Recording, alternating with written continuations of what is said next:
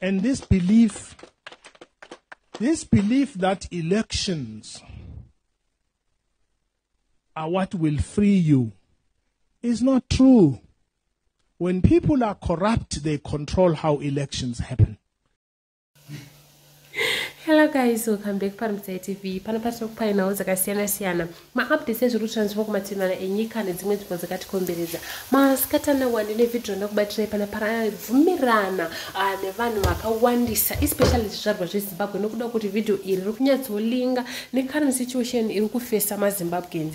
Zvichitevera pasarudzo dzatanga tinadzo musi wa23 august idzo dziri kubhilivhwa nevakawanda kuti sarudzo idzi hadzina kufambiswa zvakanaka uye kusanganisira ah, nyika dzekunze dzose zvose ah, nesadhaki chaiyo chaiyo yakati iyo. Ah, maelections akaitwa muzimbabwe they were not free and fair. Asi panapa paita vhidhio riri kutaura iro kuti mukaona gavhumendi inenge iripo yaakukondrola ah, mapurisa yaakukondrola zek yaakukondrola everywhere yaakukondrola midhiya zivai kuti nyange mukaenda kundovhota ndiyo inoku ndiyo inokondrola kuti maresults ngafambe akadai. Maelections anofanirwa kuhendliwa in this way.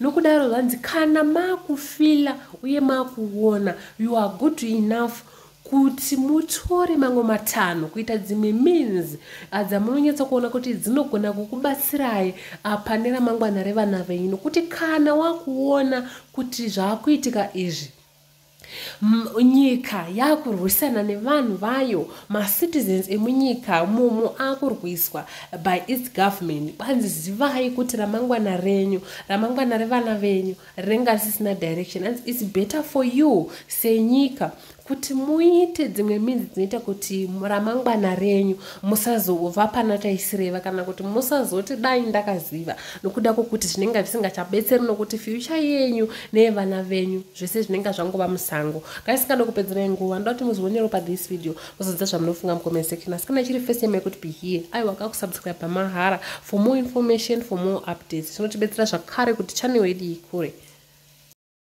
And this belief This belief that elections are what will free you is not true. When people are corrupt, they control how elections happen.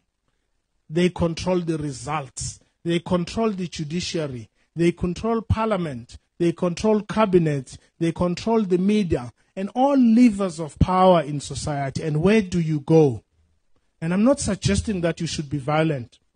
But I'm suggesting that when those spaces are closed, when those spaces are closed, it's not now, I don't know when, you will feel the pinch. When those spaces are closed for our workers to be human,